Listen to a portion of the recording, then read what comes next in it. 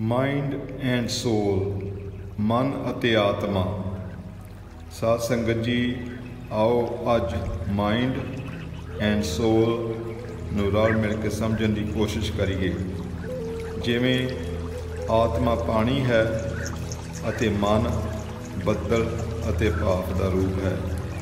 ਜਿਵੇਂ ਪਾਣੀ ਗਰਮੀ ਕਾਰਨ ਭਾਫ ਅਤੇ ਫਿਰ ਬੱਦਲ ਦਾ ਰੂਪ ਧਾਰਨ ਕਰ ਲੈਂਦਾ ਹੈ ਅਤੇ ਅਸਮਾਨ ਵਿੱਚ ਦਹਿ ਦਿਸ਼ਾ ਵਿੱਚ ਭਟਕਦਾ ਰਹਿੰਦਾ ਹੈ। ਇੰਜ ਹੀ ਸਾਡੀ ਆਤਮਾ ਸਾਡੇ ਕਾਮ, ਕ੍ਰੋਧ, ਲੋਭ, ਮੋਹ, ਹੰਕਾਰ, ਈਰਖਾ ਦੀ ਅੱਗ ਕਰਕੇ ਸਾਡੀ ਆਤਮਾ ਮਨ ਦਾ ਰੂਪ ਧਾਰਨ ਕਰ ਲੈਂਦੀ ਹੈ ਅਤੇ ਦੁਨਿਆਵੀ ਖਾਸ਼ਾਂ ਦੀ ਪੂਰਤੀ ਲਈ ਦਹਿ ਦਿਸ਼ ਭਟਕਦੀ ਹੈ। ਜਿਵੇਂ ਬੱਦਲ ਨੂੰ ਠੰਡਾ ਜਲਵਾਜੂ ਮਿਲਦਾ ਹੈ ਫਿਰ ਉਹ ਮੀਂਹ ਦੇ ਰੂਪ ਵਿੱਚ ਬਦਲ ਜਾਂਦਾ ਹੈ। ਅਤੇ ਧਰਤੀ ਉੱਪਰ ਪਾਣੀ ਬਣ ਕੇ ਵਸਦਾ ਹੈ।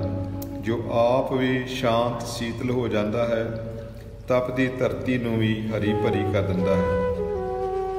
ਇੰਜ ਹੀ ਜਦੋਂ ਮਨ ਨੂੰ ਗੁਰਮਤ ਦਾ ਮਾਹੌਲ ਮਿਲਦਾ ਹੈ, ਉਹ ਵੀ ਸ਼ਾਂਤ ਹੋ ਜਾਂਦਾ ਹੈ ਤੇ ਫਿਰ ਆਤਮਾ ਦਾ ਰੂਪ ਹੋ ਜਾਂਦਾ ਹੈ। ਫਿਰ ਮਨੁੱਖ ਆਪ ਵੀ ਆਨੰਦਮਈ ਜੀਵਨ ਮਾਣਦਾ ਹੈ ਅਤੇ ਹੋਰ ਮਨੁੱਖਾਂ, ਮਨੁੱਖ ਵੀ ਉਸ ਤੋਂ ਪ੍ਰਭਾਵਿਤ ਹੋ ਕੇ ਜੀਵਨ ਵਿੱਚ ਆਤਮਿਕ ਆਨੰਦ ਮਾਣਦੇ ਹਨ। ਸਾਧ ਸੰਗਤ ਜੀ, ਆਓ ਇੱਕ ਹੋਰ ਉਦਾਹਰਨ ਰਾਹੀਂ ਮਾਈਂਡ ਐਂਡ ਸੋਲ ਨੂੰ ਸਮਝਣ ਦੀ ਕੋਸ਼ਿਸ਼ ਕਰੀਏ। ਮੰਨ ਲਵੋ, ਆਤਮਾ ਦਰਖਤ ਦੇ ਉੱਪਰ ਜਾ ਰਹੀ ਖੁੰਬਲ ਹੈ, ਜੋ ਸੂਰਜ ਵੱਲ ਉੱਪਰ ਨੂੰ ਵਧਦੀ ਹੈ। ਪਰ ਜੋ ਟਾਹਣੀਆਂ ਤਣੇ ਵਿੱਚੋਂ ਨਿਕਲ ਕੇ ਬਾਹਰ ਨੂੰ ਵਧਦੀਆਂ ਹਨ ਉਹ ਮਨ ਦਾ ਰੂਪ ਸਮਝੋ। ਜਿਵੇਂ ਇਹ ਟਾਹਣੀਆਂ ਦਰਖਤ ਦੇ ਉੱਪਰ ਨੂੰ ਜਾਣ ਤੋਂ ਰੋਕਦੀਆਂ ਹਨ, ਉਂਝ ਹੀ ਸਾਡਾ ਮਨ ਸਾਡੀ ਆਤਮਾ ਨੂੰ ਅਧਿਆਤਮਕ ਗਿਆਨ ਪ੍ਰਾਪਤ ਕਰਕੇ ਬਲਵਾਨ ਆਤਮਾ ਬਣਨ ਵਿੱਚ ਰੁਕਾਵਟ ਬਣਦਾ ਹੈ।